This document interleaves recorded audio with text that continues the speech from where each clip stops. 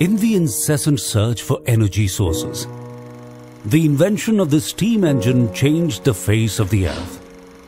A principal source of power during the British Industrial Revolution in the 18th century, the steam engine opened up a whole new world. It connected people and built economic and social relations cutting across class, caste, language and religion.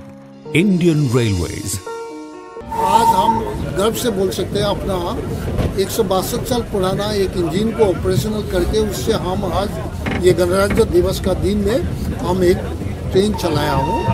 जो steam engine की जो सीटी होती है बहुत ही एक एक अजीब सी श्रिल किस्म की सीटी होती है जो बहुत ही मधुर भी होती है और, और लोगों का जो ध्यान आकर्षण करती है।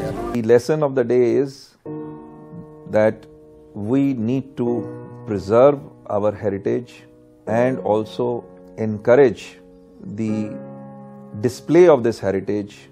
Indian Railways is proud to present the fascinating story of the extinction and revival of the oldest running steam locomotive in the entire world.